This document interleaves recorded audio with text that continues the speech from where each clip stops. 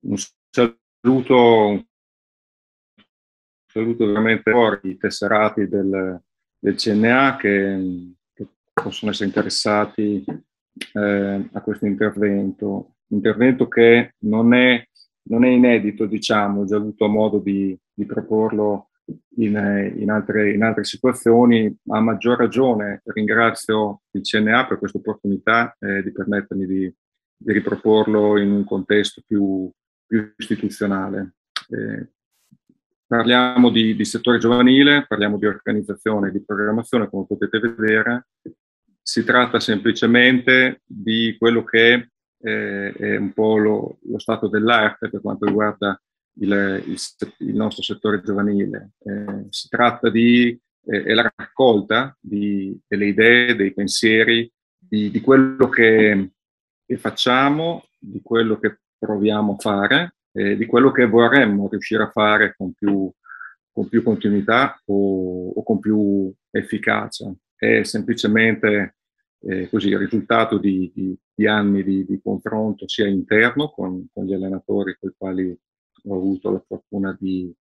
di, di lavorare in questi anni, eh, ma anche all'esterno, tutte le volte che c'è stata la possibilità di confrontarsi con, con eh, colleghi su, su, questi temi. Ripeto, è quello che, che è in questo momento, eh, è, sempre, è sempre in evoluzione e mi auguro che tra sei mesi, tra un anno, se avremo occasione di di riparlare delle stesse cose, spero che avremo delle cose eh, nuove e migliori perché vuol dire che stiamo facendo, secondo me, meglio il, il nostro lavoro. Questo eh, è per chiarire qual è, diciamo, qual, qual è il compito diciamo così, del, del nostro settore giovanile. Eh, il nostro settore giovanile esiste in funzione della nostra prima squadra che è una, che è una prima squadra professionistica. Eh, il primo obiettivo, diciamo, minimo da, da garantire è quello di, di, fare in modo che eh, la prima squadra sia messa nelle condizioni di allenarsi in maniera eh, il più possibile efficace sempre e comunque. Questo significa che quando i ragazzi più, più maturi più, più grandi del settore giovanile sono coinvolti con, con, la prima squadra per gli allenamenti, per scelta o per necessità quando ci sono situazioni di infortunio o altro. Ecco, diciamo che è, è, necessario che i ragazzi siano in grado di, eh, di reggere l'allenamento sia dal punto di vista tecnico che dal punto di vista eh, fisico che dal punto di vista mentale, dove mentale intendiamo da, sia dal punto di vista della, dell'atteggiamento, dell'attenzione, della concentrazione, ma anche della comprensione di quello che, che sta succedendo intorno a loro durante l'allenamento. Eh, invece l'obiettivo, quello più alto, più, più, più, grande del settore giovanile, è quello di eh, provare a sviluppare dei giocatori, ad aiutare dei ragazzi a diventare giocatori professionisti, che possono essere di conseguenza eh, utili a pieno titolo, quindi in quanto professionisti per la nostra prima squadra, o comunque che possano ambire a una carriera da, da, giocatore, da, da giocatore, professionista. E, ehm, è chiaro che per chi di voi ha esperienza eh, in, questo, in questo ambito, è evidente che questi due ehm, che questi due obiettivi possono sembrare, possono essere in alcune situazioni eh, leggermente in conflitto tra di loro e, e penso che sia importante e necessario eh, che ci sia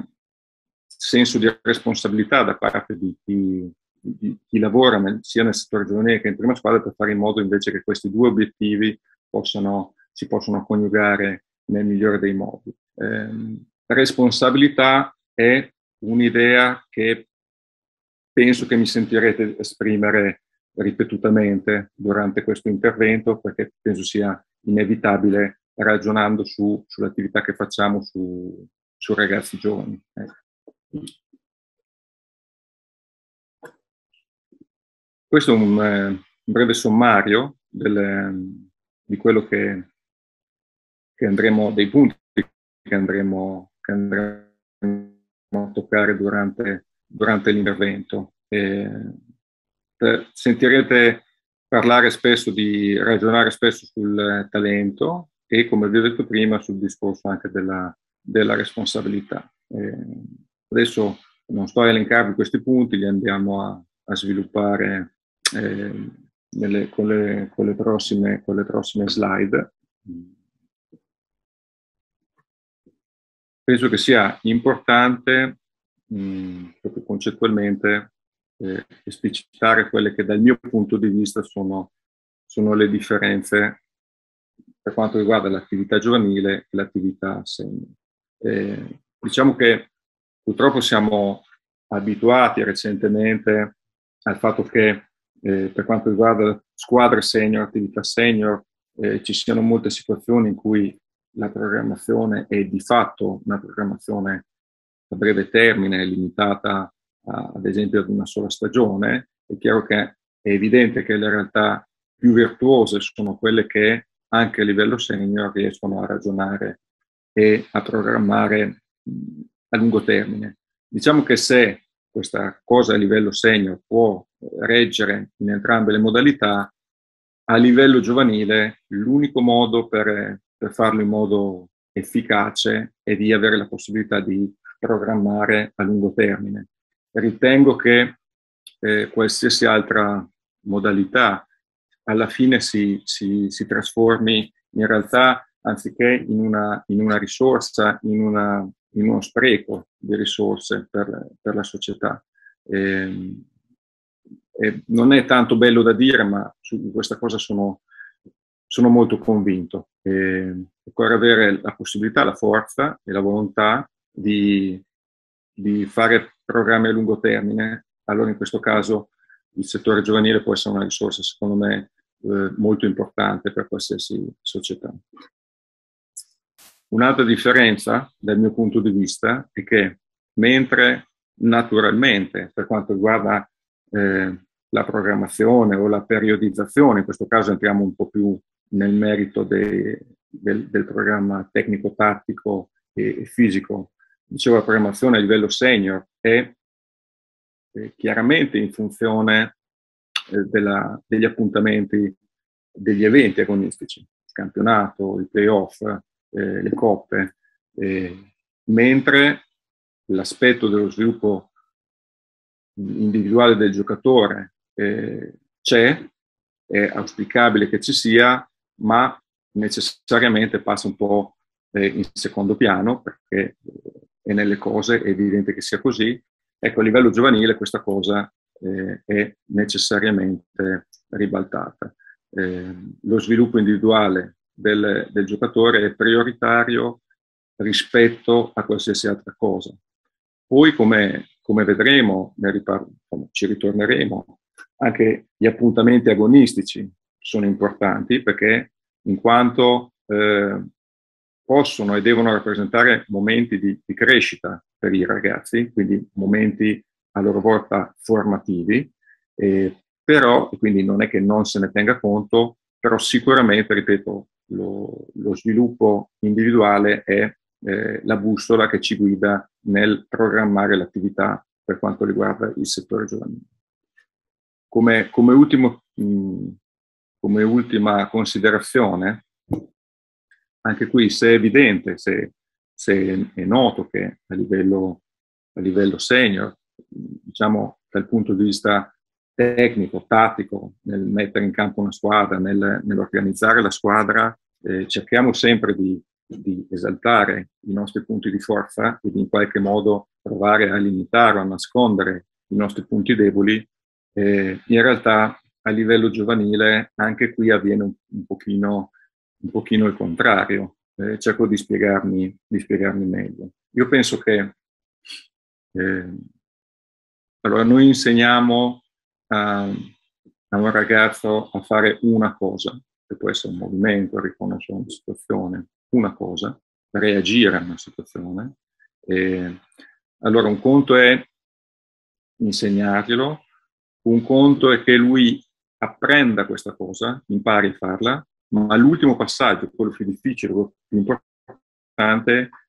è che lui poi acquisisca sì in questa cosa, quindi eh, si senta sicuro di, nel, nel, farla anche, eh, ad esempio, nel momento della partita, quando chiaramente aumenta un po' il carico, aumenta un po' la pressione. Eh, a nessuno eh, piace fare brutta figura e quindi tutti tendenzialmente evitiamo di fare le cose nelle quali non ci sentiamo sicuri. Ecco, eh, se questa cosa è scontata normale, logica a livello senior, come dicevamo prima, eh, a livello giovanile invece dobbiamo trovare delle strategie per fare in modo che, che i ragazzi si, si, sentano di essere messi nelle condizioni di provare eh, a fare cose eh, nuove, in modo che man mano acquisiscano progressivamente fiducia nel farle. Detto in, in termini molto banali, molto semplici, dobbiamo fare in modo che non abbiano paura di sbagliare.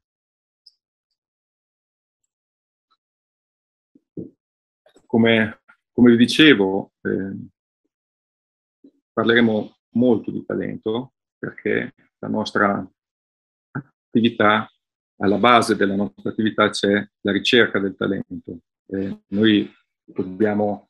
eh, lavoriamo sul talento, cerchiamo il talento e cerchiamo di sviluppare il talento. Eh, tra l'altro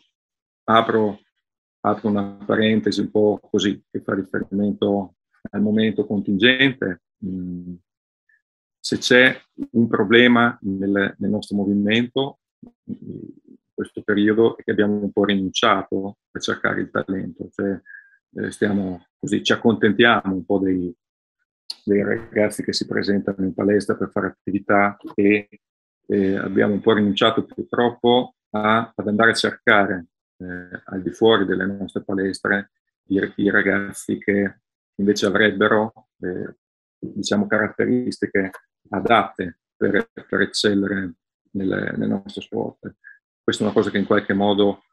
forse andrebbe, andrebbe recuperata, ma diciamo che non è argomento di, di questo intervento. Eh, nel, parlare di, nel parlare di talento, eh, il, primo, diciamo, il primo passo è di mh, essere in grado di, di riconoscerlo. Non è, sempre, non è, sempre, facile perché parlando di, di ragazzi giovani eh, è nell'esperienza comune di tutti noi il fatto di imbatterci in ragazzi che possono avere sviluppo, eh, di essere a uno stadio eh, diverso del proprio sviluppo. Eh, tutti parliamo di ragazzi precoci, tutti abbiamo idea di, di che cos'è invece, abbiamo l'idea di un ragazzo che magari è più acerbo rispetto ad altri. Diciamo che questa cosa può essere sia dal punto di vista biologico, che ci sono ragazzi che eh, fisicamente maturano prima, ma questa precocità o questo essere verdi, diciamo così, eh, può fare riferimento anche più, in maniera più semplice all'esposizione alla pallacanestro, cioè ci sono ragazzi che si avvicinano prima alla pallacanestro e quindi hanno modo di, di, di, imparare, di migliorare prima di altri a fare, a, a fare questa attività. E ci sono ragazzi invece che magari arrivano più tardi alla pallacanestro con, con tutta una serie di conseguenze che, delle quali noi inevitabilmente dobbiamo, dobbiamo tener conto. Qui vi ho riportato una, una citazione, troverete parecchie perché mi piacciono molto, perché penso che aiutino, aiutino molto, di Henrik Beckman, che è un uh, allenatore finlandese che eh, ha lavorato un po' in tutta Europa ed è, eh, possiamo definire proprio uno studioso del gioco e in, in particolare della, della, didattica legata alla pallacanestro. E questi sono i suoi suggerimenti per un ipotetico ragazzo che vuole diventare un giocatore importante. E chiaramente avere i genitori giusti, cioè avere in questo caso una base genetica che, che, che predisponga alla pratica della pallacanestro sicuramente aiuta. Eh, crescere nell'ambiente giusto eh, è quello un po' che ho cercato di dirvi anche prima. È chiaro che eh, vi faccio l'esempio, anche tutti, tutti, penso che abbiamo l'idea, mh, abbiamo presente che tanti, tanti ragazzi che eccellono sia a livello giovanile ma poi anche nei campionati senior eh, hanno diciamo genitori che hanno praticato pallacanestro, questo significa che banalmente sono stati esposti, hanno visto pallacanestro fin da piccoli e quindi anche senza, anche magari prima ancora che cominciassero a praticarla, hanno cominciato a conoscerla e a riconoscerla e, e questo sicuramente è un grosso vantaggio. e chiaramente poi di conseguenza anche comunque iniziare la pratica eh, precocemente a livello giovanile e inevitabilmente lavorare, lavorare molto per diventare dei buoni giocatori. Noi siamo, diciamo che cercando il talento ci, con, ci confrontiamo eh, costantemente con, con, il tentativo di reclutare i, i ragazzi che riteniamo più più interessanti, più, più, funzionali al tipo di attività che facciamo. Eh, allora, noi per quanto ci riguarda, diciamo, cerchiamo di, di reclutare a livello locale, di dare opportunità a livello locale a tutti quei ragazzi che o pensiamo eh, possono avere un'effettiva prospettiva professionistica o eh, pensiamo che possano diciamo così, eh, da una parte aiutare i gruppi a, a migliorare e dall'altra comunque trarre giovamento dal, dal fare attività con, con, i nostri gruppi. Cerco di spiegarmi meglio. Prima abbiamo parlato di,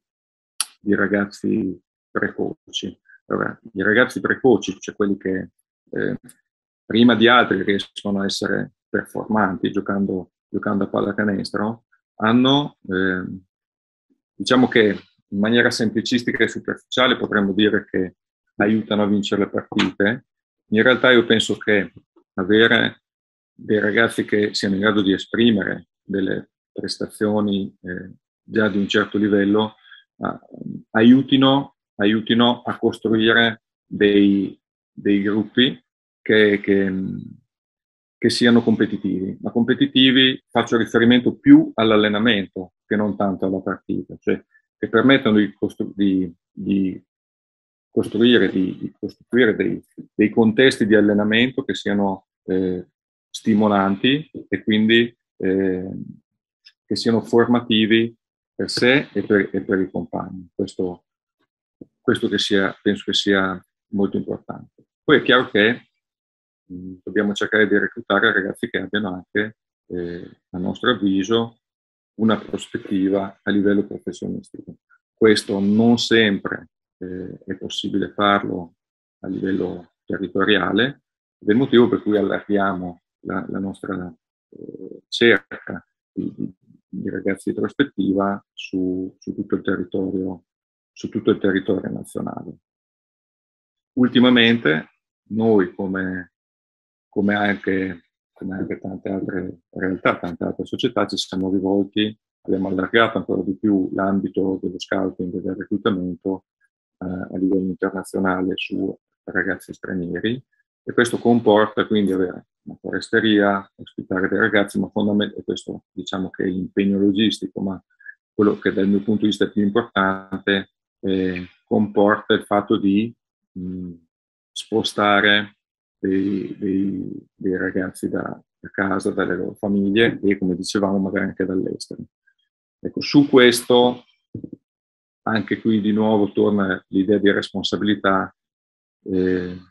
perché penso che sia importante, almeno vi dico quello che è la nostra idea, che è la mia idea, eh, penso, penso che sia importante avere chiaro che nel momento in cui si recluta un ragazzo, non si recluta un ragazzo perché pensiamo che possa in qualche modo eh, rendere più, più competitivo una, un gruppo giovanile, una squadra giovanile, ma perché pensiamo eh, e dobbiamo avere sufficienti, diciamo, eh, certezze che questo ragazzo possa, essere, possa avere effettivamente uno sviluppo eh, a livello professionale. Allora, è vero che con i ragazzi europei questa, questa precauzione potrebbe essere un pochino meno, eh, diciamo, un pochino meno pressante, perché per quello che è la mia, per quella che è la mia esperienza, ormai diciamo che le differenze tra i ragazzi europei sono veramente, a parte la lingua, cominciano ad essere veramente sempre più, sempre più sottili e quindi se reclutare un ragazzo dall'estero, diciamo, se fatto nel modo giusto, può anche voler eh, semplicemente voler dire offrirgli un'opportunità per fare un'esperienza, un'esperienza di vita, se fatta, eh, ripeto, seguendo tutti, tutti, i crismi e tutti i criteri eh, di, di, tutela del ragazzo, e quindi una specie di, di Erasmus per uno studente atleta che faccia attività sportiva. Per i ragazzi invece che eh, vengono da più lontano, dove le differenze culturali e sociali sono, sono, sono più importanti, penso che questa tutela debba essere, questa cautela debba essere massima, perché veramente ci, eh, ci prendiamo, ci, prendi, ci, facciamo carico di, di, una responsabilità in termini di, in termini di anche di aspettative, in termini di, di sradicamento di ragazzi che, che, non, che non possiamo non vogliamo ignorare. Penso che qui l'idea di responsabilità deve essere, eh, deve essere portata al massimo livello.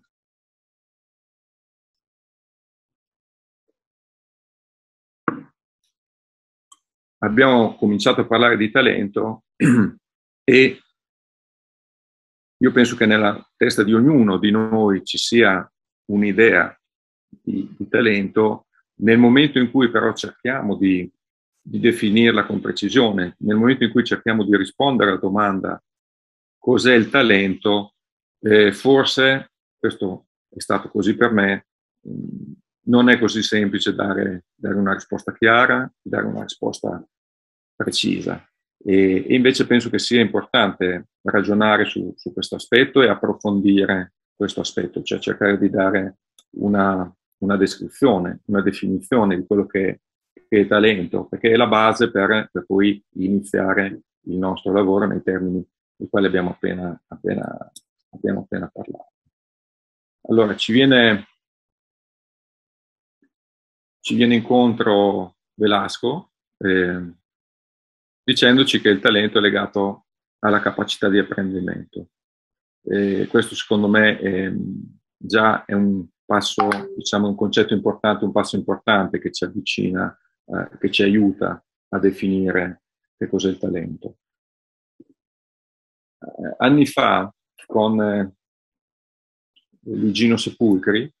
eh, diciamo Gigi Sepulcri è un preparatore fisico eh,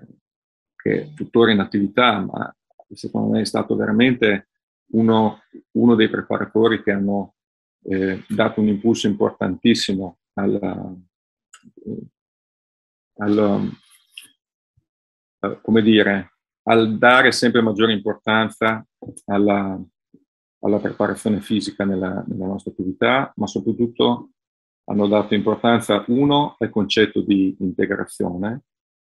che mh, la preparazione fisica non è qualcosa di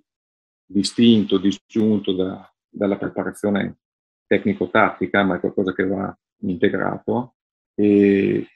Luigi Sepulcri è, è stato uno, uno, uno, dei primi, eh, assieme ad altri, a, mh, a spingere uh, sulla formazione. È stata una persona che hanno che hanno fatto in modo che all'interno del, del CNA, oltre alla formazione tecnico-tattica per, per, gli allenatori, si cominciasse a, a, a, strutturare un percorso per la formazione dei, anche dei, pre, dei, preparatori fisici. E assieme a lui abbiamo cercato di, mh, chiarir, di chiarirci le idee, perché eravamo, ci siamo trovati in questa difficoltà di, di, di definire che cos'è il talento. E allora ci siamo dati queste risposte. Eh, come potete leggere, non sto a ripetere, sicuramente è nella eh, percezione di tutti che un giocatore di talento un giocatore che ha un controllo della tecnica, ma anche del corpo, ma anche delle situazioni eh, superiore rispetto alla media. Eh, di nuovo, apprendimento. Eh, apprendimento e un termine importante è consolidamento di apprendimento, un po' quello che ho cercato di dirvi prima. Eh, I ragazzi imparano a fare qualcosa, eh, ehm,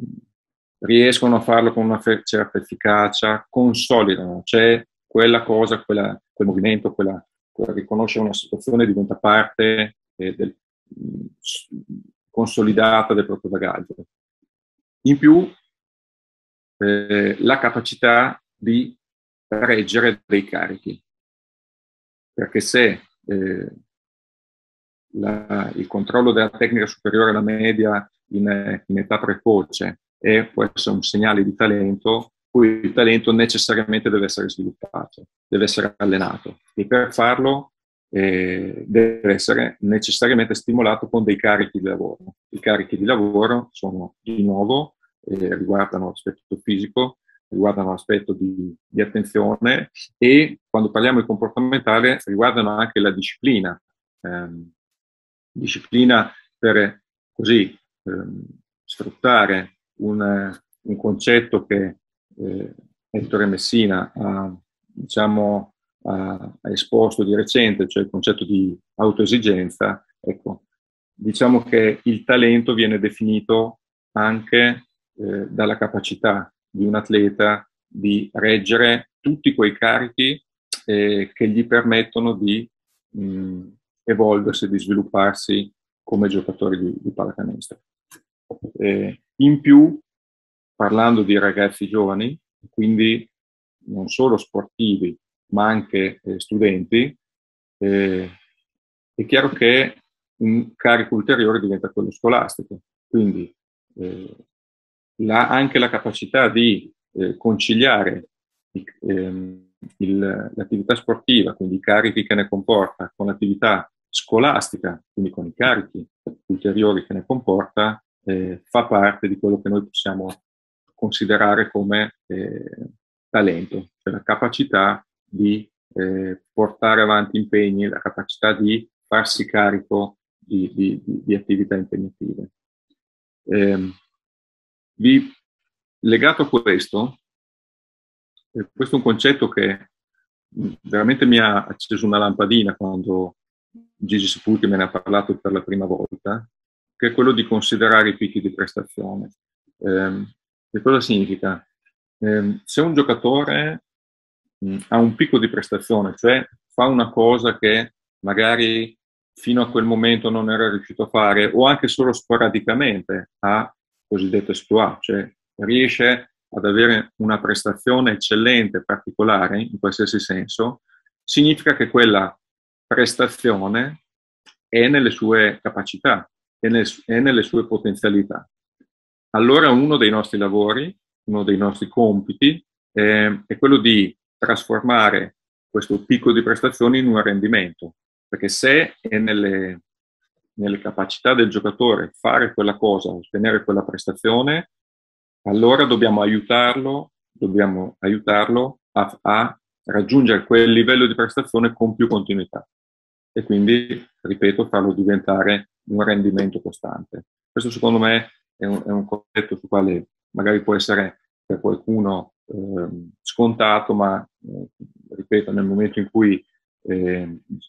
Gigi Sepulcri mi ci ha fatto riflettere, mi, veramente mi ha, mi ha acceso la luce su tanti aspetti della nostra attività.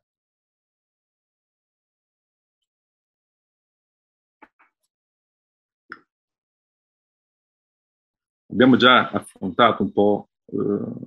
il concetto di, eh,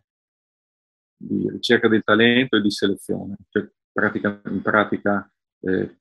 quali giocatori cerchiamo di reclutare e con quali criteri eh, poi cerchiamo di, di comporre i, i, nostri gruppi, le nostre squadre giovanili. Uh, Ivic è un allenatore turco di, di origine bosniaca, penso, che ha lavorato per la federazione turca per alcuni anni, è stato anche responsabile del programma giovanile della, della federazione turca nel, nel, periodo in cui hanno eh, formato, hanno prodotto tanti, tanti, tanti giocatori di, di, alto livello e questi sono i criteri che, che lui aveva dato per, parlando di, di selezione del talento. E chiaramente è utile individuare, in maniera, individuare i giocatori di talento in maniera più precoce possibile. È importante far, avere un'idea di quello che può essere eh, lo sviluppo finale de, per, per, ogni, per ogni giocatore, cioè che tipo di giocatore potrà essere da adulto, da senior, che tipo di, di, di, caratteristiche potrà avere in modo da poter programmare l'attività per quel giocatore. E cercare di selezionare giocatori che siano, che siano adatti alla, alla pallacanestro moderna, che adesso non, non, spetta a me entrare nel merito, non è questo, non è questo l'ambito, però insomma una pallacanestro dove chiaro, la distinzione dei ruoli, mettiamolo così, sta diventando sempre un po' più, un po più fluida, cioè, tanti giocatori sanno fare tante cose, tante cose diverse, ma soprattutto la capacità eh, di un giocatore di eh, stare in un contesto di squadra, perché la, il nostro è uno sport di squadra e questo è un concetto non scontato, forse neanche così valido in tutte le realtà, in tutti i contesti, ma dal mio punto di vista rimane, rimane un criterio molto importante da tenere in considerazione. Eh, allora, di, dichiaro immediatamente, eh, per, per, poter procedere, che nella, così, nella, mh, mm, nel ragionamento, nella, dal mio punto di vista senza, senza una, una risposta univoca tra eh, privilegiare, ricercare giocatori specializzati o, gioca- o, giocatori versatili, quindi giocatori che sappiano fare magari bene tante cose nessuna cosa benissimo, o giocatori che magari sappiano fare meno cose ma, ma quelle poche benissimo, eh, per quello che mi riguarda, io continuo a privilegiare l'idea di, di, di sviluppare, di formare dei giocatori che siano versatili, eh, quantomeno a livello giovanile. Poi sono consapevole che, che, prima, che prima, o poi un, un, processo di specializzazione è inevitabile e deve essere avviato, eh, ma io penso che, considerando che l'attività giovanile in questo momento arriva nelle, nella migliore delle ipotesi a 18, teoricamente 19 anni, qualche volta 17, perché in realtà dipende da, eh, da quando poi un giocatore comincia ad approcciare in maniera eh, sempre, più, sempre, più, importante, sempre più coinvolgente il, il contesto senior. Ecco, penso che fino, fino a quella fascia d'età eh, comunque l'idea di mh, avere eh, pensare i giocatori come eh, giocatori versatili, cioè che ehm, cerchino costantemente di ampliare il proprio bagaglio di, di, di strumenti, ecco, eh, eh, ritengo che sia comunque prioritario. E di conseguenza eh, anche sul concetto di, di ruoli è un concetto che mi lascia a livello giovanile abbastanza freddo, abbastanza indifferente, insomma, su, sul fatto di, di, di definire ruoli tecnici, intendo, il PMEC, la guardia e così via, per, per quanto riguarda i ragazzi delle, delle giovanili. Veramente non, mi, appassiona, mi, appassiona, molto di più invece l'idea di, di, di aiutare i ragazzi ad aggiungere eh, continuamente armi a, a, proprio strumenti, armi al proprio, proprio bagaglio. Eh, allo stesso modo, perché penso che sia eh, parlando di sviluppo del talento,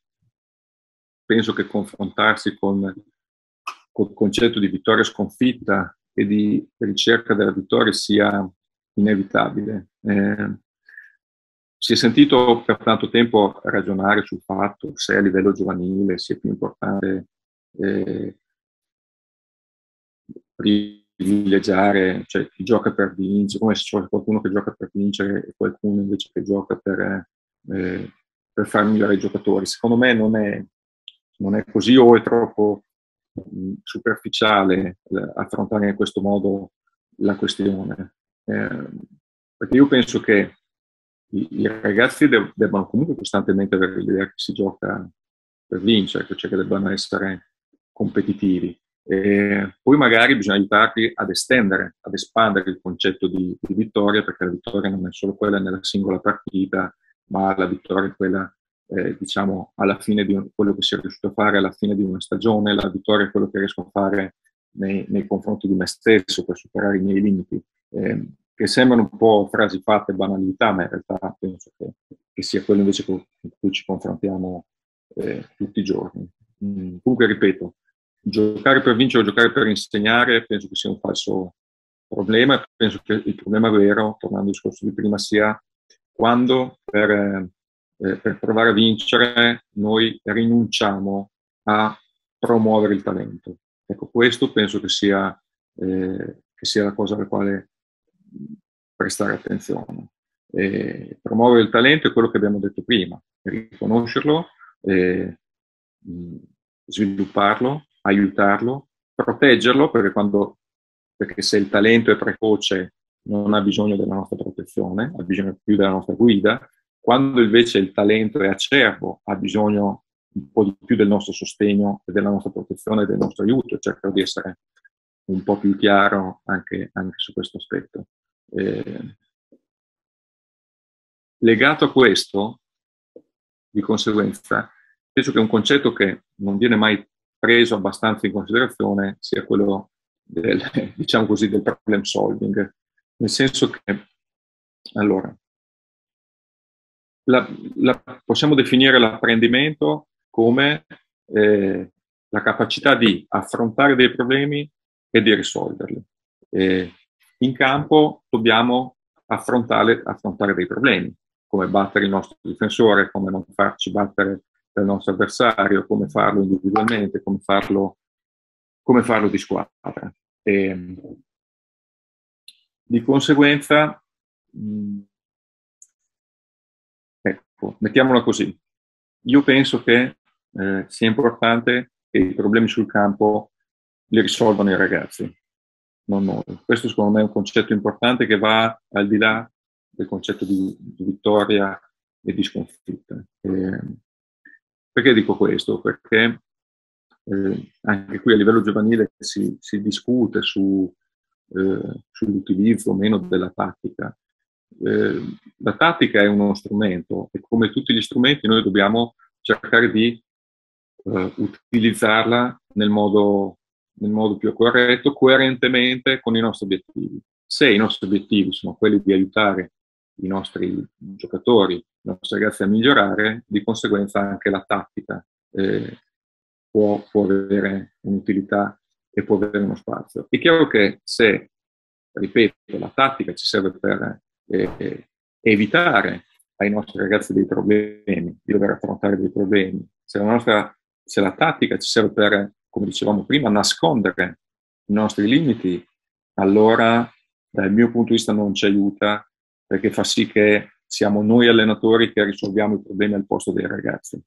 e, e quindi diventa controproducente. Eh, se la tattica è eh, la tattica che i, i, ragazzi individualmente come squadra sviluppano eh, autonomamente, aiutati, seguiti, eh, con suggerimenti nostri, ma eh, diciamo la pratica è quello che loro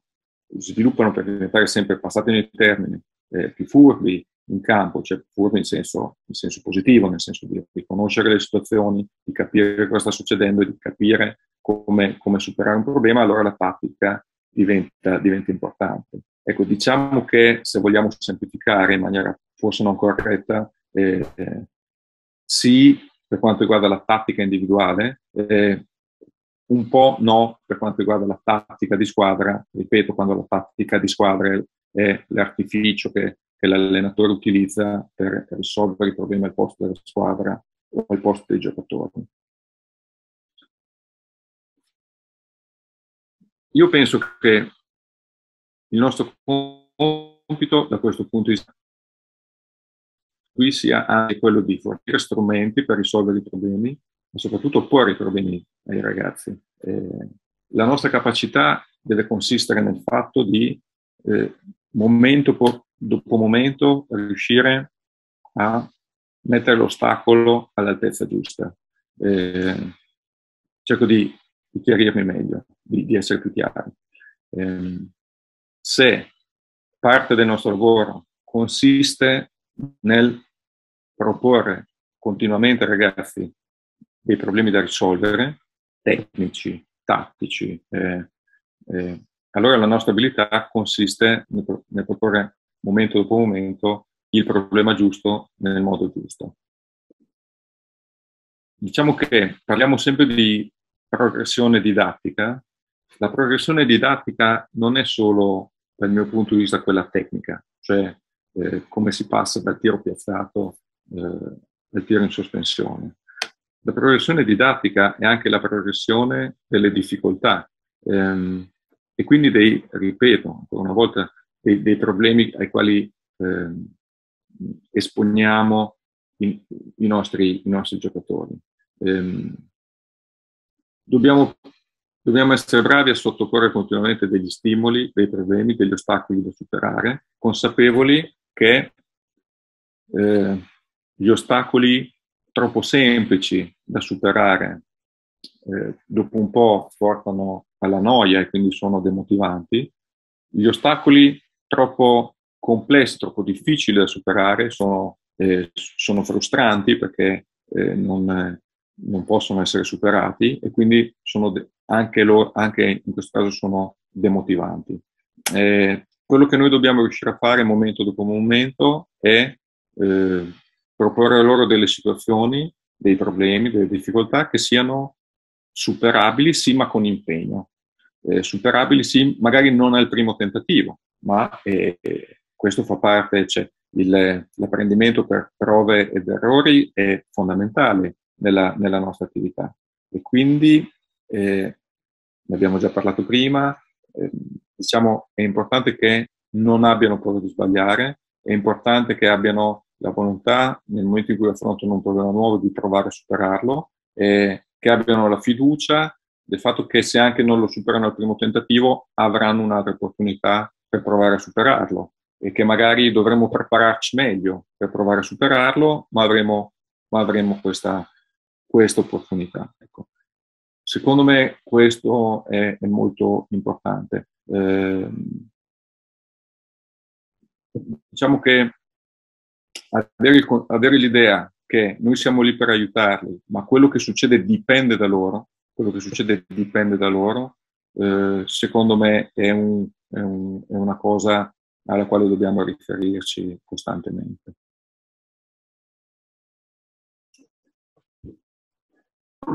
Legato anche qui, cercando di proseguire col ragionamento, eh, Beppe Barbara eh, mi disse questa, questa, cosa al telefono una volta che anche questa mi è rimasta impressa, cioè che il talento più grande mangia, mangia quello più piccolo. Eh, perché, perché vi, ho, vi, ho, riportato questa cosa? Perché, mh, vi ho detto prima, noi nei nostri gruppi possiamo avere giocatori di talento, possiamo avere giocatori magari non così tanto di prospettiva, ma che, hanno, ma che sono efficaci, che ci aiutano perché alzano il livello ehm, fanno diventare più competitivo il gruppo il contesto di allenamento. Eh, ecco, diciamo che nel comporre un gruppo, facciamo un caso ipotetico, io penso che se avessimo la possibilità di reclutare eh, 12 giocatori per comporre una squadra giovanile, tutti di grandissimo talento e e di grandissima prospettiva. Sicuramente questo ci aiuterebbe negli allenamenti, perché renderebbe, renderebbe l'allenamento più, eh, di livello più alto. Sicuramente ci gratificherebbe come, come, come, come allenatori, ma altrettanto sicuramente farebbe un torto a qualcuno di, di queste ragazze. No, eh, non penso, non penso che noi siamo in grado di, di, di, di, dare a tutti le stesse opportunità. Cioè, a un certo punto c'è qualcuno che viene penalizzato, che viene sacrificato. eh, penso che sia inevitabile. Noi dobbiamo avere, dobbiamo avere la stessa attenzione a tutti, a tutti, i nostri ragazzi e questo riguarda soprattutto l'attenzione in allenamento, l'attenzione al farli, ad aiutarli a farli migliorare. Eh, temo, ma sono abbastanza sicuro che non possiamo, eh, ma per essere onesti non vogliamo eh, dare le stesse opportunità a tutti, semplicemente perché non è possibile eh, dare le stesse opportunità a tutti. Secondo me serve onestà in- intellettuale nel, nel, riconoscere questa cosa e di conseguenza anche eh, la composizione delle squadre, anche eh, la, la, la, selezione dei ragazzi deve, deve, eh, deve tenerne inevitabilmente conto. Abbiamo detto questo perché appunto se vogliamo tutelare, tutelare, il talento dobbiamo essere sicuri che il talento, cioè i ragazzi di maggior talento, abbiano le opportunità che sono necessarie per esprimere il proprio talento, per sviluppare il proprio talento. E, è chiaro che essere in un ambiente, in un contesto stimolante è importante, aiuta, e anche avere esperienze di successo, quello che dicevamo prima, vincere le partite o comunque avere anche individualmente delle piccole esperienze di successo, cioè sento, mi sento eh, adeguato, mi sento capace di fare qualche cosa, vedo che sto migliorando, sono consapevole del fatto che sto facendo dei passi in avanti, cioè le esperienze di successo sono eh, indispensabili eh, nel, nel, processo di, di sviluppo di, di, un giocatore. E, e allo stesso modo, parlando di sistema di gioco, perché qualche volta anche qui ci fa, secondo me, un po' di... Mh, mm, inutilmente, insomma, ci si confronta su se sia meglio a livello giovanile giocare in un modo piuttosto che in un altro, la zona, i blocchi, eccetera. Anche qui penso che sia un falso problema, insomma, eh, il sistema di gioco in attacco, in difesa, è uno strumento che noi, che noi abbiamo, eh, è uno strumento che è a nostra disposizione se noi abbiamo chiari eh, gli obiettivi, sapremo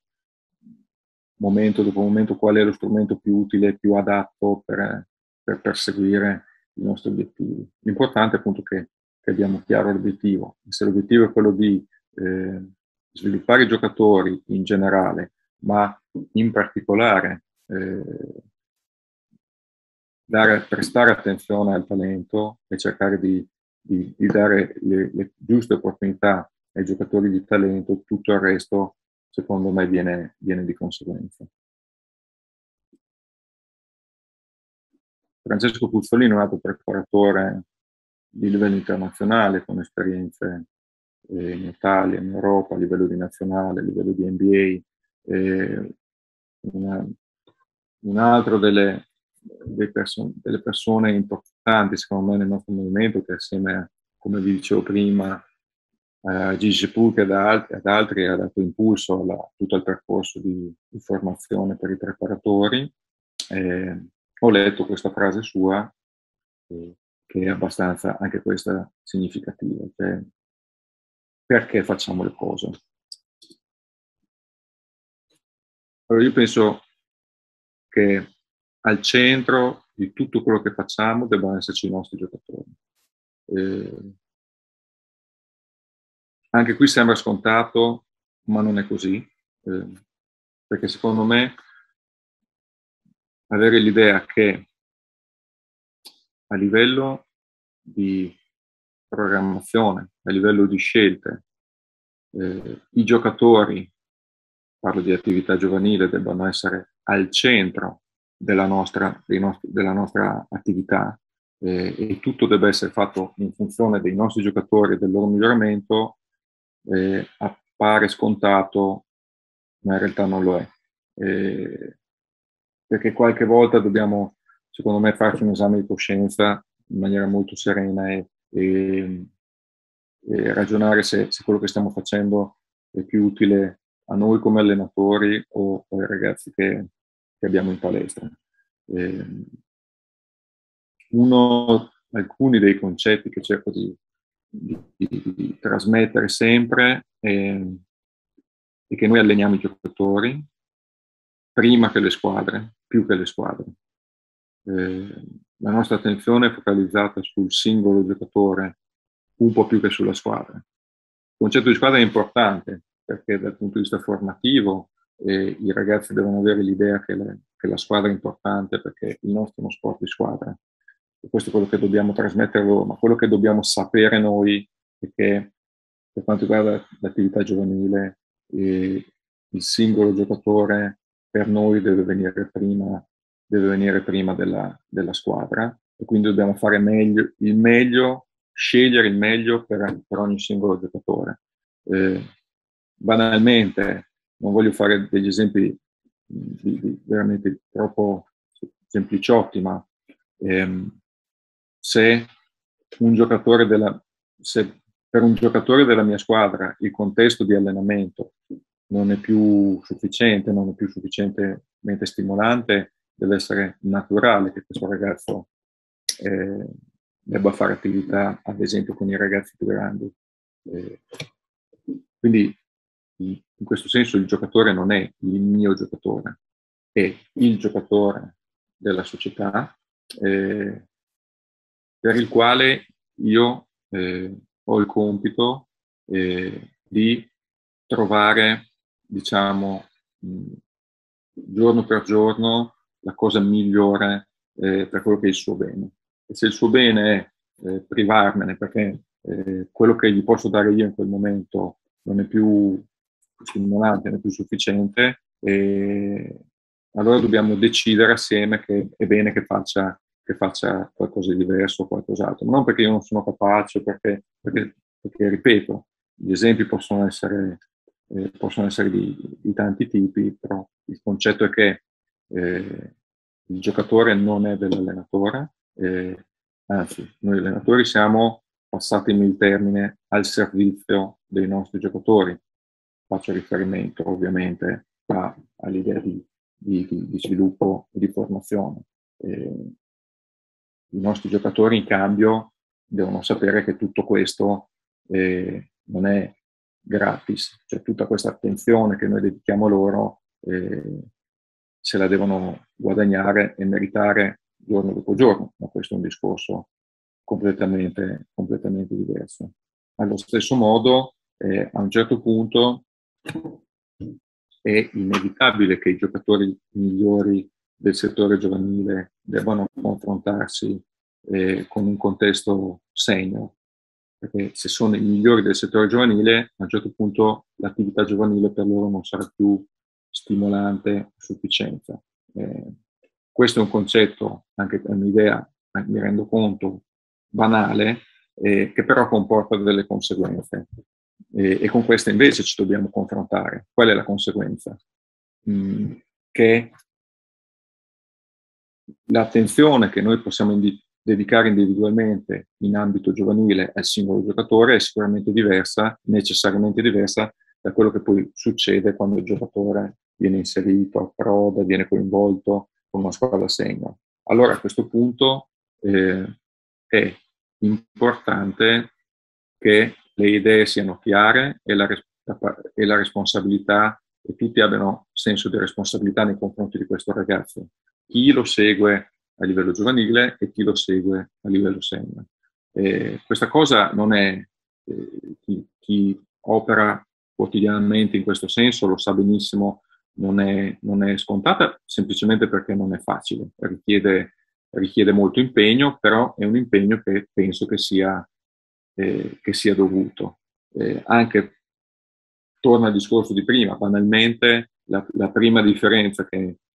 che un ragazzo eh, affronta nel, nel, passaggio da giovanile, da giovanile senior, eh, ma questo poi ne parleremo anche dopo, è riferito alla possibilità di sbagliare. La possibilità, il margine di errore, la possibilità di sbagliare a livello senior è, è molto più basso, inevitabilmente, che, che, a livello giovanile. E quindi anche su questo poi, insomma, anche questa è una cosa che va gestita con, con eh, con visione e con, e con senso di responsabilità.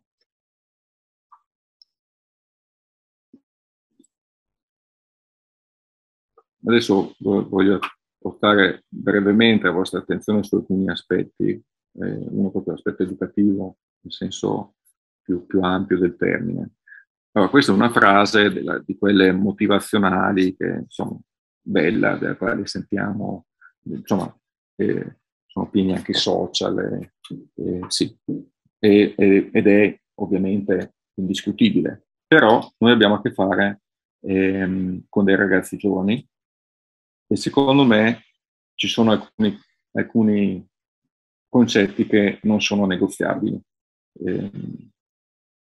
la scuola viene prima, dal mio punto di vista, eh, per tanti motivi. Eh, uno, per senso di responsabilità, perché noi abbiamo a che fare con degli studenti atleti, che sono prima studenti e un pochino dopo, poco dopo atleti, ma prima di tutto studenti. Eh, due, perché penso che per quanto un ragazzo faccia attività sportiva agonistica di alto di altissimo livello e che richiede un impegno alto o altissimo, l'idea, il concetto di normalità deve sempre rimanere e quindi è normale che un adolescente, che un ragazzo in età eh, scolare, è normale che vada a scuola e studi e si applichi e sia impegnato con la scuola, ma in maniera anche un po' più utilitaristica, perché penso che eh, i ragazzi debbano essere abituati ad affrontare gli impegni. E penso, temo eh, che, anche qui ritorna il concetto di responsabilità, se un ragazzo non è in grado, non, non, non viene messo nelle condizioni di, poter, eh, di potersi assumere delle responsabilità nei confronti della scuola, di, prendersi degli, di affrontare gli impegni che la scuola propone, mi viene, mi rimane il dubbio, o mi viene la paura che poi allo stesso modo lo stesso ragazzo non sarà in grado di prendersi responsabilità e di affrontare gli impegni sul campo. Eh, perché una responsabilità è una responsabilità, un impegno è un impegno, a prescindere che sia una verifica o che sia un tiro libero importante o che sia la difesa eh, che decide, l'azione difensiva che, che, magari decide la partita. Questo secondo me eh, è, molto, è, molto, importante e di conseguenza eh, se nel, dobbiamo fare tutto il possibile per aiutarli, per rendere compatibili le due attività, ma l'attività sportiva non può essere a scapito dell'attività scolastica. Allo stesso modo, la salute viene prima, eh, perché dobbiamo, è importante che l'attività che proponiamo, che proponiamo ai ragazzi rimanga un'attività formativa e di sviluppo, non può, non deve diventare un'attività usurante da nessun punto, sotto nessun punto di vista fisico o, o, anche, o anche, mentale. Eh, dobbiamo aiutare i ragazzi, dobbiamo, eh, come dicevamo prima, metterli nelle condizioni di poter affrontare, affrontare gli impegni, però eh, non è il settore giovanile non è il campo di addestramento dei Marines, è attività sportiva giovanile eh, che deve preservare l'integrità eh, dei ragazzi sotto tutti i punti di vista, ripeto, a partire da quella fisica, quella mentale e quella scolastica. Secondo me, ribadisco, eh, sono aspetti non, non negoziabili. Legato a questo c'è un aspetto con il quale purtroppo ci confronta regolarmente, che è quello degli infortuni, che secondo me merita un, un, breve, un breve, cenno. Eh, uno, perché legandoci a quello che, che, ho, che, ho, appena detto, dobbiamo fare tutto il possibile per prevenire gli infortuni, gli, prevenire gli infortuni eh, sia con attività specifica, quindi eh, lavoro, lavoro, fisico, eh, ma anche con l'attenzione nel dosare i carichi e nel dosare le richieste. Eh, non ho una statistica purtroppo, forse sarebbe opportuno farla, ma diciamo la percezione delle di ragazzi che approcciano, eh, no, scusate, la percentuale di giocatori di interesse, cioè di ragazzi di alto livello, che nel momento in cui approcciano, cominciano ad essere verso la fine del percorso giovanile approcciano eh, impegni con la prima squadra e devono tenere assieme impegni con la prima squadra, eh, impegni col settore giovanile, impegni magari con le nazionali giovanili. Eh, ecco, secondo me la percentuale di infortuni anche importanti su questa tipologia, su questa fascia di ragazzi, eh, non è rilevante. Quindi a maggior ragione serve molta attenzione eh, nel momento in cui si programma l'attività per un ragazzo, a maggior ragione se è un ragazzo di, di interesse. Eh, quindi questo a livello di, di prevenzione. Poi gli infortuni purtroppo capitano, non sono eliminabili completamente. Allora, secondo me, anche qui serve, eh, serve molta attenzione perché non vogliamo, ovviamente, non c'è nessun motivo ragionevole per forzare i tempi di recupero per un ragazzo reduce da un infortunio. E allo stesso tempo, però, eh, dobbiamo fare in modo che eh, il ragazzo venga seguito nel migliore dei modi, perché ogni infortunio è tempo che noi sottraiamo alla preparazione del ragazzo, al suo sviluppo e alla sua preparazione. E quindi è importante che, che i tempi di recupero siano seguiti con,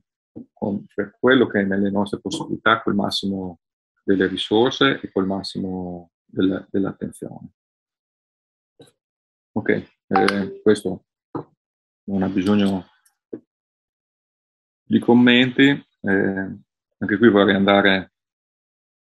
cerco di, di, non, insomma, di non dilungarmi, perché qualcosa, qualcosa, su questo ho già detto. Eh, c'è un momento in cui i, i, ragazzi, prima o poi, che escono dal settore giovanile, se se la meritano, devono avere un'opportunità. Un'opportunità a livello senior. Eh, non è facile, e purtroppo penso, parere mio personale, che questo è il, il, punto nel quale come, come movimento, come sistema pallacanestro siamo più carenti in questo momento, perché le opportunità che i ragazzi giovani hanno a livello senior eh, in questo momento non dipendono né purtroppo né dal loro merito né dalla programmazione, ma eh,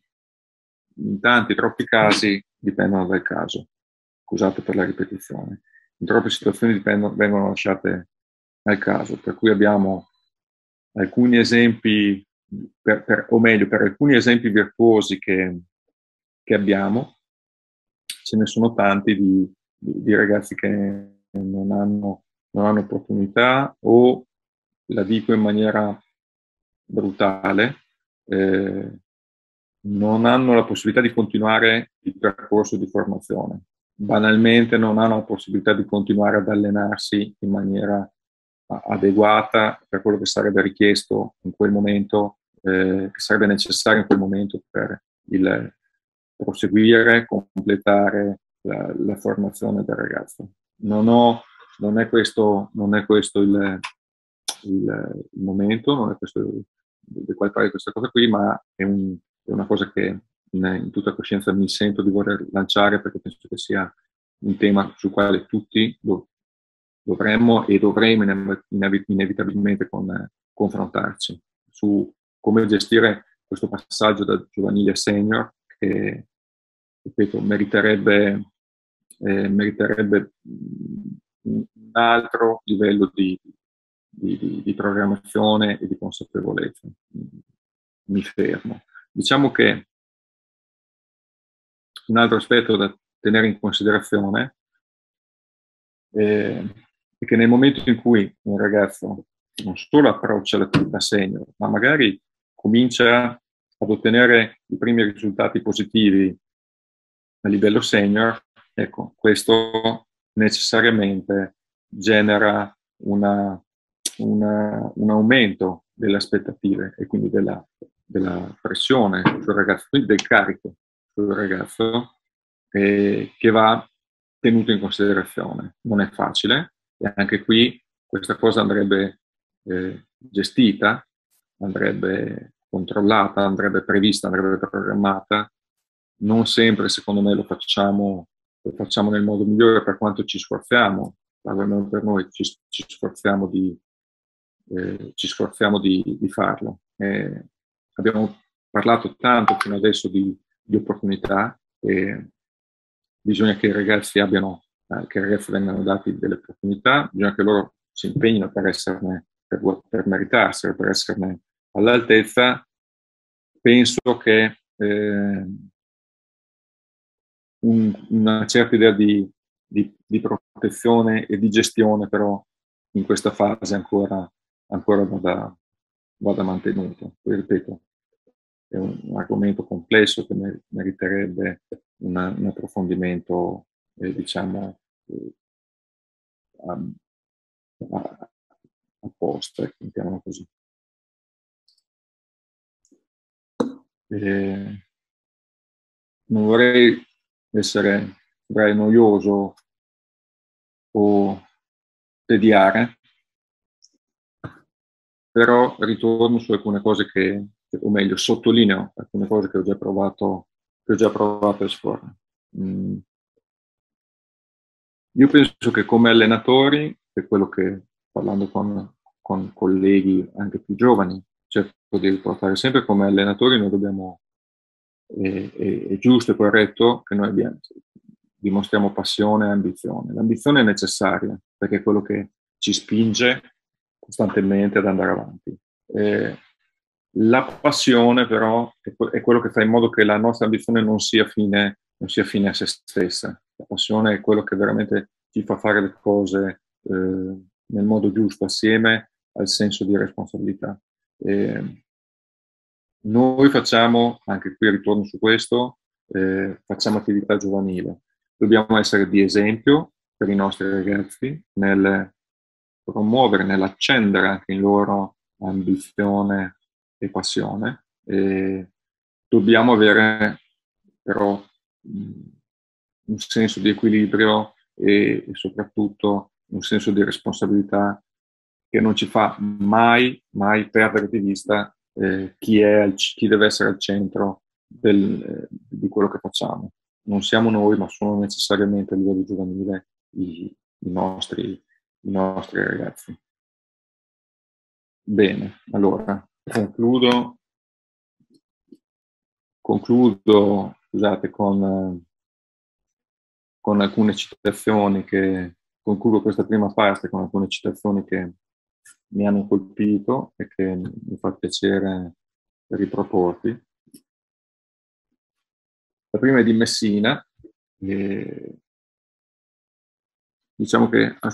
quando espresse questa idea spiegò, spiegò che intendeva dire che mm, per affrontare, per studiare la matematica è necessario partire prima dalle operazioni elementari e poi man mano salire di, dalle, dalle quattro operazioni elementari, poi man mano procedere e salire di livello, eh, mentre per quanto riguarda la musica, anche chi non è esperto di musica in grado di riconoscere se, se qualcosa eh,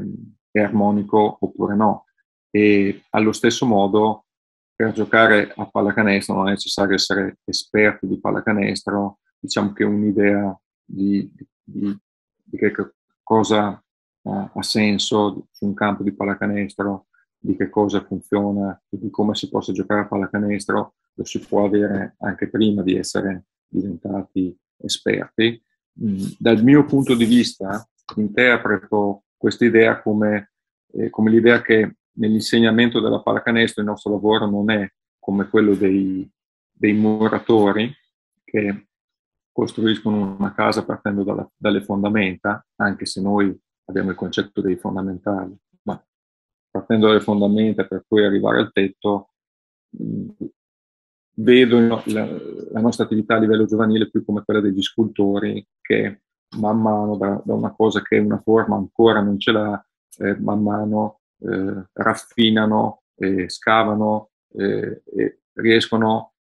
su, per progressivamente, successivamente, a dare un, una forma che è sempre più precisa e sempre più raffinata. Eh, questa è un po' la mia, la mia idea di come insegnare il pallacanestro a livello giovanile.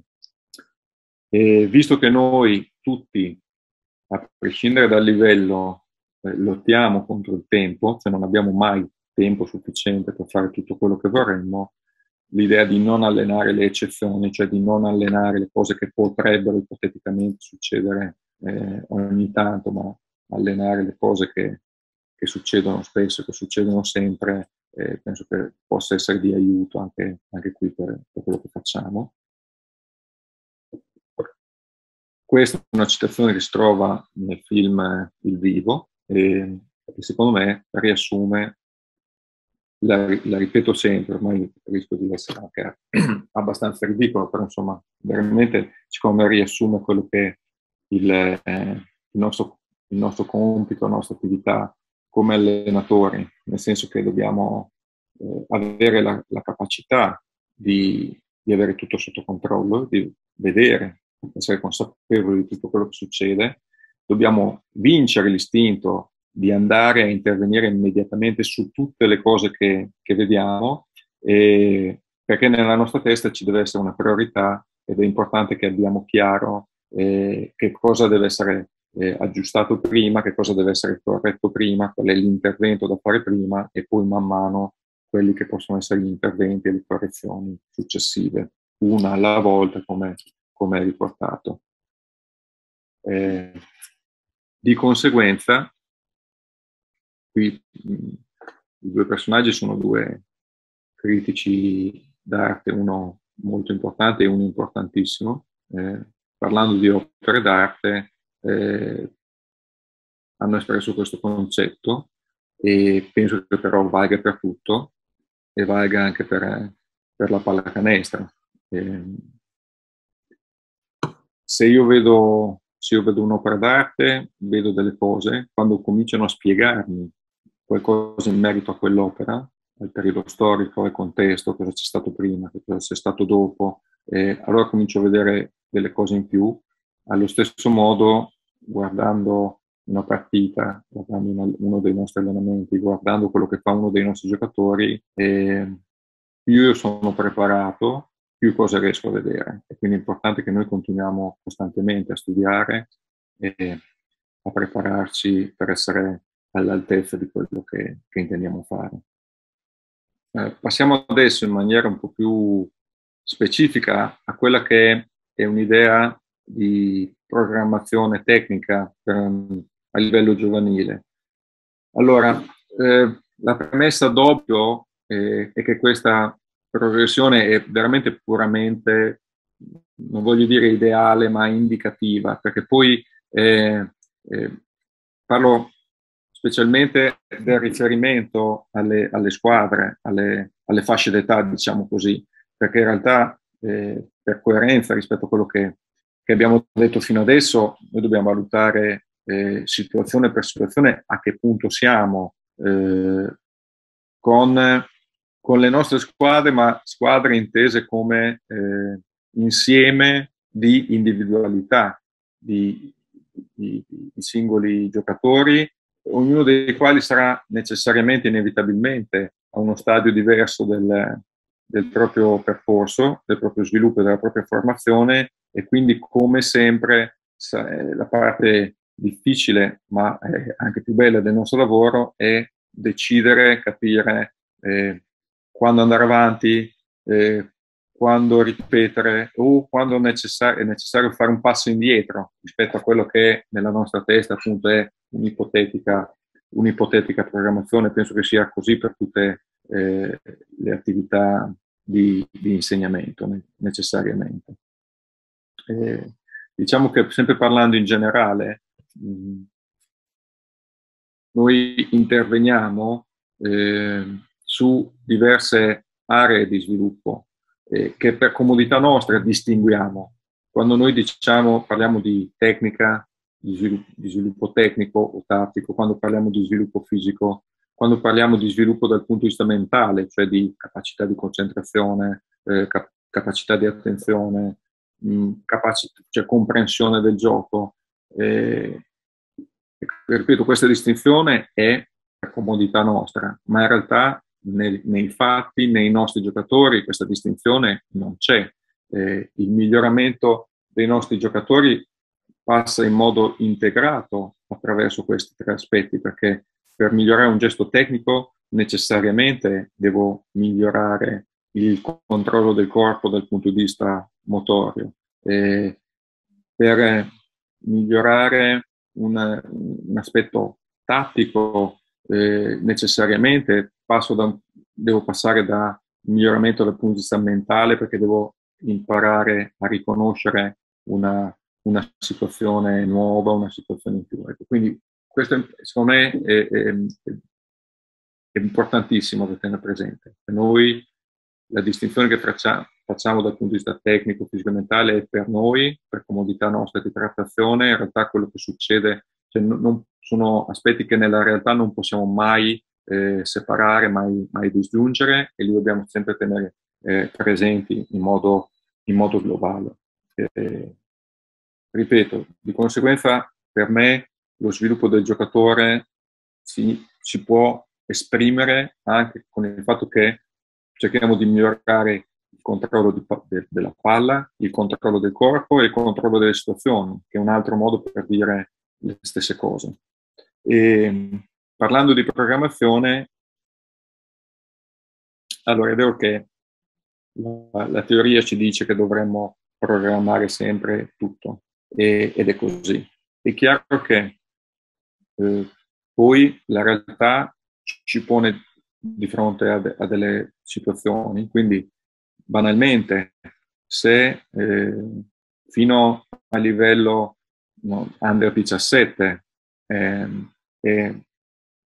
scontato, è normale pensare di, di programmare in maniera eh, abbastanza precisa l'attività. Precisa, passatemi il termine, non è ottusa, perché poi tutti i, i nostri programmi, tutti i programmi che facciamo, tutto il nostro essere proattivi eh, va poi verificato costantemente sul campo, cioè i, i, dobbiamo vedere se quello che noi avevamo ipotizzato si sta realizzando oppure no, perché ripeto, come vi ho detto, se non si sta realizzando, forse è il momento di, di fare una pausa, una ripetizione un passettino indietro. E quando le cose vanno come, come, come, ci stiamo aspettando, allora quello è il momento per, per aggiungere qualcosa e per andare oltre. È chiaro che per quella che è la mia esperienza, ma penso che sia quella di tanti altri, eh, poi quando ci, ci, ci comincia a, a, ragionare a livello under 19, cioè l'ultimo gruppo, quello più strettamente legato alla prima squadra, diventa, oltre che essere proattivi, diventa importante anche essere reattivi, perché noi eh, l'attività diventa molto meno programmabile perché, come ci siamo detti, più in funzione, un po' più in funzione delle, delle esigenze della prima squadra e, e quindi non sempre le, queste esigenze naturalmente si possono programmare perché dipendono da tante cose, purtroppo anche da, da, dai discorsi infortuni che è la cosa meno programmabile del mondo. E l'importante è che noi non perdiamo di vista l'obiettivo e quindi dobbiamo essere bravi a essere reattivi man mano che le situazioni cambiano, ad aggiustare anche in corsa quello che è il nostro programma, quello che è il nostro, il nostro percorso formativo e didattico per, per comunque non, non perderci mai il, quello che sta succedendo con ogni singolo, con ogni singolo giocatore, con ogni singolo ragazzo. Nello specifico, come vedete, eh, per quanto riguarda l'attacco, eh, più, sono, più, sono, piccoli, più sono giovani, eh, più l'attività è di tipo globale. La specializzazione, non la specializzazione, scusate, la parte più analitica, specializzazione è un'altra cosa, la parte più analitica eh, cresce con il crescere eh, dell'età. Anche qui facciamo delle distinzioni teoriche eh, perché dipende in quel momento qual è argomento per argomento, momento per momento, qual è il nostro obiettivo. Eh, banalmente, un 3 contro 3 è una situazione che globale se noi la prendiamo in considerazione dal punto di vista eh, dal punto di vista dell'utilizzo dei fondamentali, per esempio, diventa analitica se, noi, se a noi in quel momento serve dal punto di vista del, delle, delle, letture, della comprensione, della comprensione del gioco, dell'analisi di una determinata situazione, evidentemente. E per quanto riguarda la difesa, ecco, secondo me anche questa cosa qui eh, può essere un concetto semplicistico, in realtà per me eh, è molto importante. Il, inevitabilmente penso che il, il miglioramento, lo sviluppo dei nostri giocatori passi attraverso a quello che sono in grado di fare in attacco con la palla e ovviamente senza la palla, ma l'attacco ha sempre, ha sempre, viene sempre privilegiato in quello che è il nostro programma formativo. E la difesa c'è, la difesa ci deve essere, eh, però ci sono due aspetti. Uno, penso che la difesa sia più facile da insegnare, o meglio, eh, i risultati, cioè per raggiungere determinati risultati dal punto di vista difensivo occorre molto meno tempo rispetto a quello che serve per ottenere gli stessi risultati dal punto di vista del miglioramento eh, per quanto riguarda un fondamentale o una situazione d'attacco. Eh,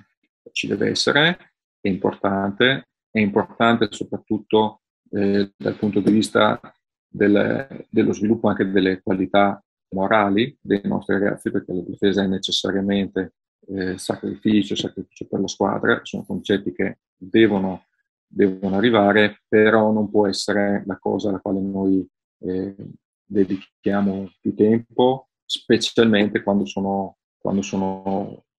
più giovani o, o più piccoli, insomma. Per cui questo è un po' quello che nella proporzione tra eh, lavoro dedicato all'attacco, lavoro dedicato alla difesa, visto che poi la, la, la, insomma, troverete indicazioni per quanto riguarda attacco e difesa, però deve essere chiaro qual è la, la percentuale. Allora, attacco, qui non sto a leggervi tutto, vi do alcune spiegazioni, eh, ribadisco più sono, più sono, giovani, più sono piccoli, più secondo me eh, le stesse proposte devono essere eh, fatte in modo globale e variabile. Cioè noi lo stesso movimento, lo stesso gesto, dobbiamo cercare di proporlo modo, eh, in, nel modo più ampio possibile di, di, di, situazioni e di variabilità, perché qui penso che lo sviluppo eh, motorio dei ragazzi eh, abbia ancora una, una, una sia ancora da privilegiare. Eh, lavoriamo abbastanza sul sovrannumero, a metà campo, campo come, stimolo e come incentivo al, al, fatto banalmente di passarsi la palla, eh, perché veniamo da, da, categorie dove il passaggio sicuramente non è eh, privilegiato rispetto al palleggio, per esempio, invece qui vogliamo cominciare a mettere enfasi sull'idea del, del passaggio, di passarsi la palla e chiaramente giocare in sovrannumero ci, ci aiuta tantissimo a farlo e di conseguenza farlo giocando su tutta la, la lunghezza del campo, quindi dire di scappare in contropiede, di lanciare i, compagni in contropiede, di provare a giocare in sovrannumero eh, su, in contropiede. Per quanto riguarda l'under, eh, a livello under 15, cominciamo magari a dare indicazioni qui sì un pochino più analitiche sulla gestione del contropiede a tre, cominciamo a lavorare sull'uno contro uno eh, con e senza palla. Sulle situazioni, visto che lavoriamo su uno contro, sull'uno contro uno, cominciamo a dare qualche indicazione su come è opportuno metterci eh, sulle penetrazioni. Non tanto, ecco qui vorrei chiarire, il concetto sul, di posizionamento non è tanto geografico, cioè riferito alle posizioni sul campo, ma è più riferito eh, in, in, riferimento in relazione a quello che fa il mio avversario, quindi per mantenere l'idea di, di uno contro uno, in questo caso senza palla. Quindi succede qualcosa, il mio compagno gioca uno contro uno, il mio avversario reagisce in qualche modo e di conseguenza io reagisco a quello che sta facendo il mio avversario diretto. Quindi il posizionamento è legato a quello che succede e, e, alla distribuzione dei giocatori sul campo non, non, è in questo momento un concetto geografico, cioè legato alle posizioni sul campo, alle righe sul campo, mettiamola così. Se abbiamo la fortuna, come speriamo, di, di avere dei lunghi, cerchiamo di cominciare a coinvolgerli, eh, se devono essere coinvolti, se sono già in grado di, di, di cavarsela da soli, di essere protagonisti da, da soli, tanto meglio, se torniamo al discorso di prima, sono i, i classici ragazzi, quindi eh, un po' più indietro dal punto di vista motorio, dobbiamo provare a applicare qualche strategia per dare opportunità anche a loro e quindi coinvolgerli in qualche modo. E cominciamo a proporre situazioni i, di gioco con i contatti.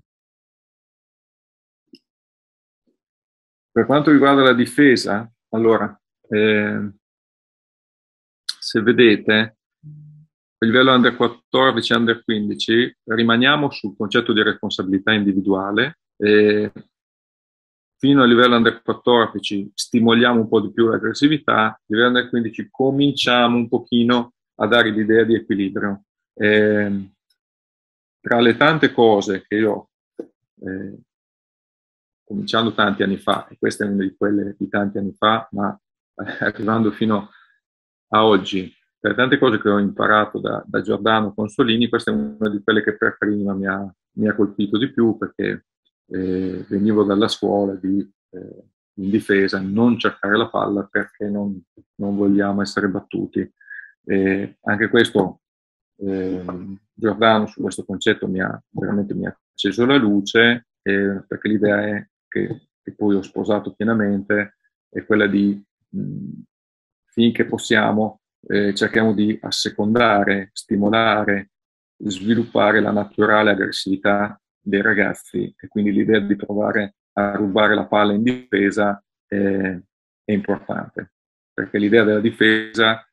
a, a, livello giovanile non può essere quella del contenimento, eh, ma deve essere quella di provare a fare qualcosa per, per eh, spingere, per indurre eh, il nostro avversario a un errore per recuperare prima la palla prima possibile per, per, di conseguenza andare in attacco perché ci divertiamo di più in attacco che non in difesa. Quindi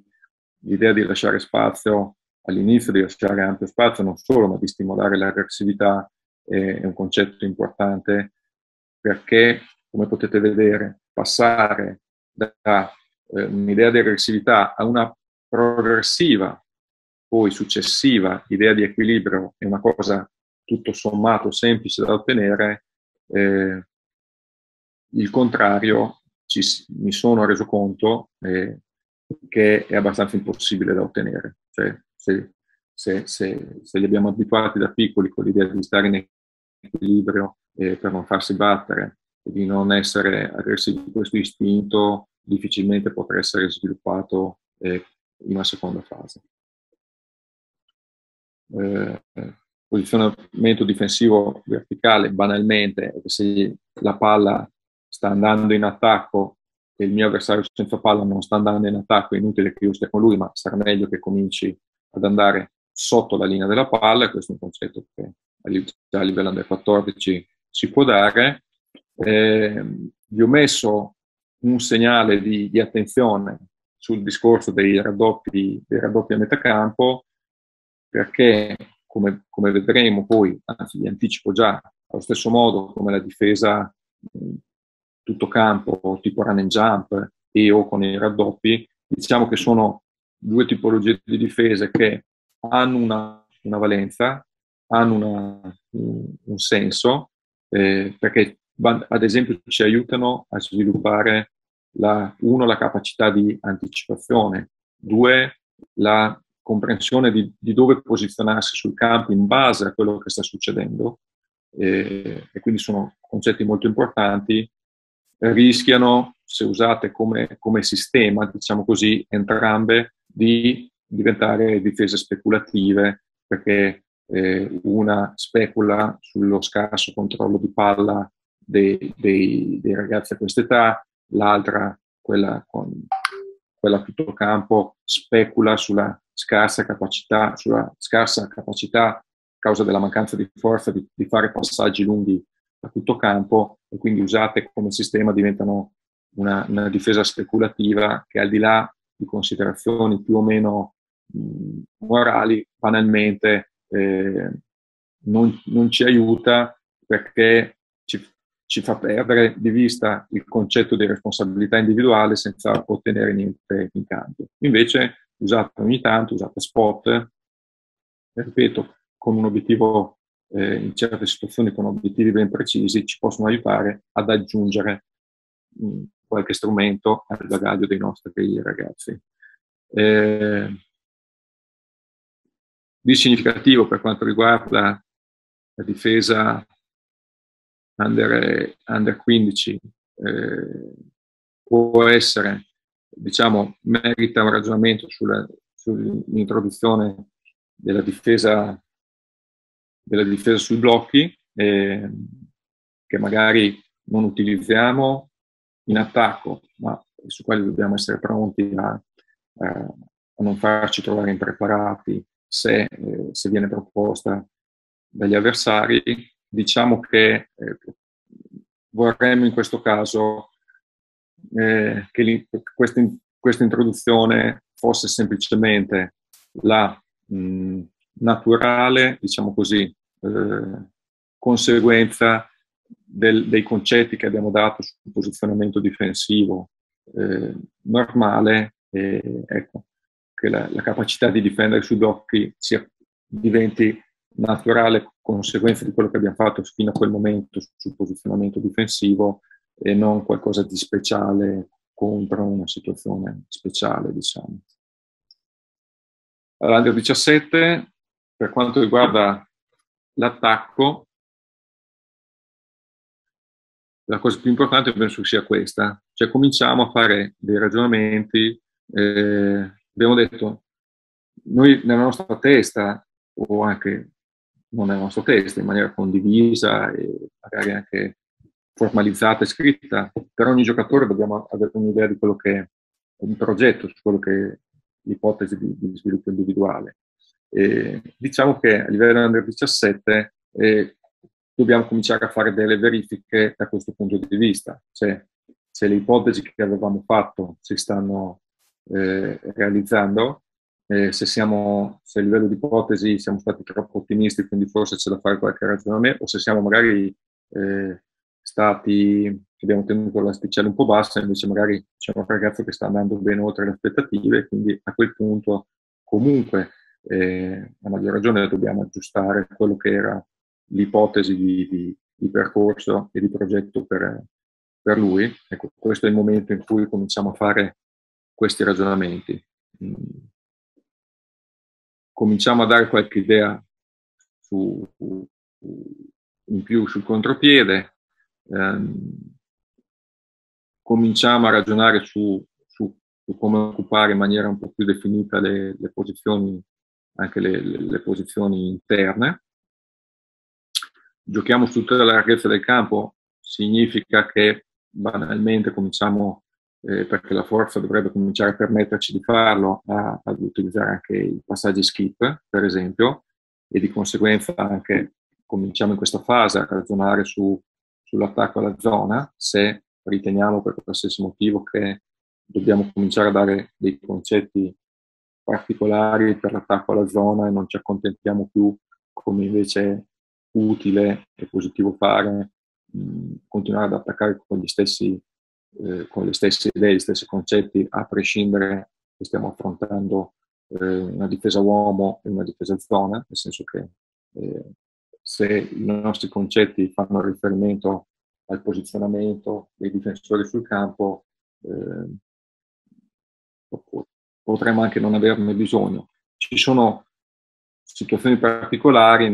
quale, nelle quali può essere utile cominciare a dare qualche invece idea specifica per quanto riguarda l'attacco alla zona attacco al pressing nel caso in cui abbiamo eh, qualche ragazzo un po' particolare per il quale dobbiamo usare delle accortezze particolari per cui per aiutarlo o, o, o per stimolarlo allora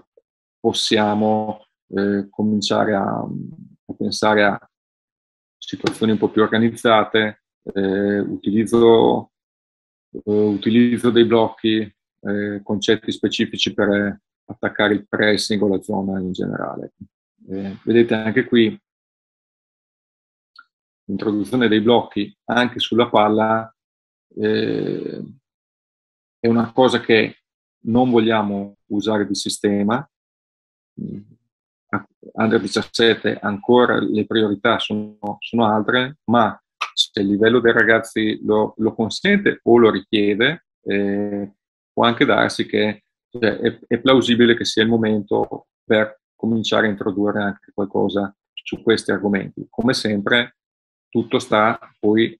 nel peso che diamo a questi argomenti, cioè quanto tempo dedichiamo, eh, quanta attenzione dedichiamo, per quale motivo lo facciamo. Diciamo, non è una priorità a questo livello, però cominciamo, cominciamo a farlo. Qui eh, di interessante, dal mio punto di vista, che potete leggere, insomma, non penso di dover commentare necessariamente ogni cosa, eh, di, di, interessante secondo me è la, la difesa sui blocchi. Mi spiego. Eh, cominciamo a dare concetti per la difesa sui blocchi, ma i concetti rimangono funzionali a, a quello che ci serve per procedere nella, nello sviluppo individuale, nella formazione dei ragazzi. Cerco di essere più chiaro. Eh, cosa fare su un blocco non dipende dalle caratteristiche del mio avversario, perché c'è quello che, che tira, quello che va a sinistra, quello che va a destra, eh, o meglio,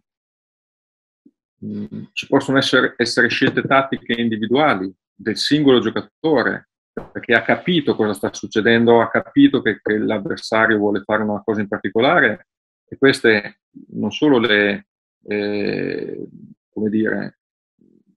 non le, non le evitiamo, anzi, queste le, le, vogliamo stimolare, perché quello che dicevamo, abbiamo detto prima parlando della capacità di risolvere dei problemi. Quindi se un giocatore si, si prende un'iniziativa, un senso di responsabilità, perché ha capito che sta per succedere una cosa, questa è una cosa che noi vogliamo apprezziamo e vogliamo stimolare. Però diciamo che in, gener- in generale eh, le scelte difensive sui blocchi eh, sono, sono, date da, dall'idea di rimanere sui concetti, quindi se magari se un blocco è, un blocco è portato abbastanza vicino eh, a dove è la palla e sul quarto di campo dove è la palla, magari può essere, il concetto può essere quello di inseguire per costringere, per, per ridurre lo spazio a disposizione degli attaccanti, questo è un concetto generale che può avere una validità, se un blocco è sul lato, sul lato debole, magari eh, passiamo in mezzo perché la regola è che lontani dalla palla stiamo lontani dall'avversario, quindi diventa abbastanza naturale. Uno, passivo come conseguenza delle regole che abbiamo dato fino adesso, eh, quindi tagliare il blocco. Due, perché comunque anche se vogliamo eh, usare un concetto un po' più tattico, questo dilata maggiormente, le, le, le, eccessivamente, probabilmente le, gli spazi per l'attacco e quindi vanifica quello che vuole fare l'attacco. Però insomma, diciamo che tutto tranne che preoccuparci di fare, ehm, di, fare scelte che riguardino eh, quello che fanno, quello, le caratteristiche individuali degli avversari. Ad esempio, mh, sul blocco sulla palla, possiamo scegliere di cambiare se in, questo momento, se in quel momento per noi è prioritario ehm, alzare il livello, cioè proporre delle difficoltà ulteriori ehm, ai nostri, dal punto di vista difensivo, quindi porre un problema da risolvere ai nostri ragazzi in difesa,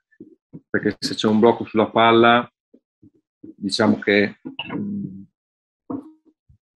immagino che ci sia una, una, differenza in qualche modo di, di, di mismatch, come si dice, perché altrimenti eh, non si capisce l'utilità da parte dell'attacco di fare, di fare un blocco sulla palla. E quindi se c'è questa differenza tra i nostri difensori, il fatto di cambiare eh, su, su, un pick and roll comporta che magari il nostro ragazzo un po' più alto si trova nella condizione di dover muovere i piedi per difendere su uno più piccolo, il nostro, il nostro difensore un po' più piccolo si trova nella, nella condizione di dover muovere i piedi per, per passare davanti a un giocatore più grosso di lui dentro l'area e quindi eh, è, è, possibile, è plausibile che eh, la scelta di cambiare ci, ci, ci, aiuti perché, come dicevamo, propone un, un piccolo problema ai nostri ragazzi da, da risolvere di, di, difficoltà un po' più alta o, o, diverso da quello che fanno normalmente. Eh, oppure se possiamo decidere che ad esempio eh, quando, quando, gli avversari giocano un blocco sulla palla raddoppiamo perché in, momento, in quel momento ci interessa lavorare un po' di più sulla capacità di anticipazione sul posi- e, sul posi- sul, e sul posizionamento difensivo, perché dopo se raddoppiamo la palla gli altri nostri difensori devono giocare 3 contro, 3 contro 4 e quindi devono decidere, devono capire, aiutati da noi, ma lo devono fare loro, dove è più conveniente, dove è più opportuno mettersi in base a quello che sta succedendo, in base a dove sono gli avversari, in base a come è fatto il raddoppio, in base a, a, all'atteggiamento del, dell'attaccante che ha la palla e che viene raddoppiato. Ecco. I motivi possono essere eh, tanti, ma diciamo che le scelte eh, rimangono ancora eh, legate a quelli che sono i nostri obiettivi formativi. Ecco, Under 19 è un po' il, il completamento del, della, della, della, formazione giovanile e di conseguenza eh, cominciamo, qui per noi è l'inizio dell'attività di specializzazione individuale, come viene normalmente interpretata, eh, e cominciamo eh, a, ad avvicinarci a quello che è la, la pallacanestro senior. Eh, anche qui, come concetto, è, questa è l'ipotesi. Eh, tanto per chiarire, una, nost- una nostra squadra under 19 non inizia la stagione facendo queste cose. Magari, se va bene, finisce la stagione facendo queste cose. Eh, però non è che iniziamo la stagione facendo, proprio perché questa è la fine di un percorso. Eh,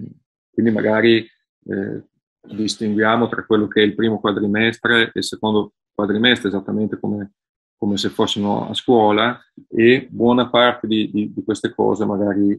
vengono proposte, eh, quelle più, più complesse vengono proposte eh, nel secondo quadrimestre, cioè quindi veramente alla fine del, del percorso giovanile, anche perché dobbiamo tener conto del fatto che una squadra under 19,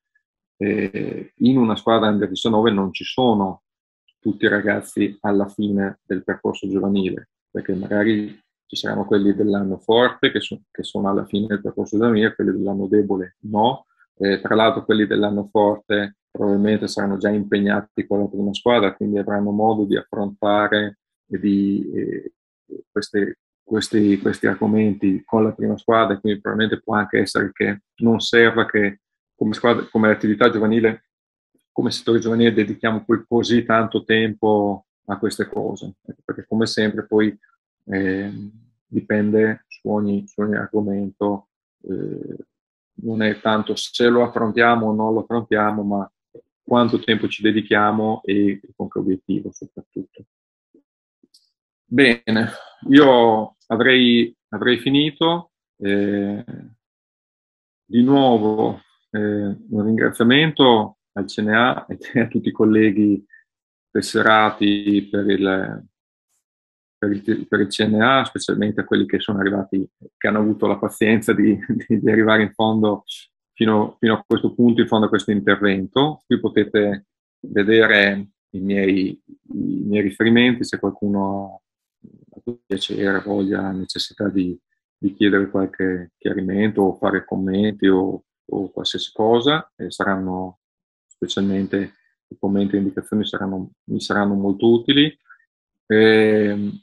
prima di, di salutare, eh, un ringraziamento in particolare a eh, Monica Lenti del CNA, che si è occupata della, della parte, diciamo, eh, più organizzativa, e a Gianmarco Di Matteo che mi ha dato una grossa mano invece dal punto di vista eh, proprio pratico e tecnologico per la realizzazione dell'intervento. Grazie ancora a tutti, a presto, un abbraccio.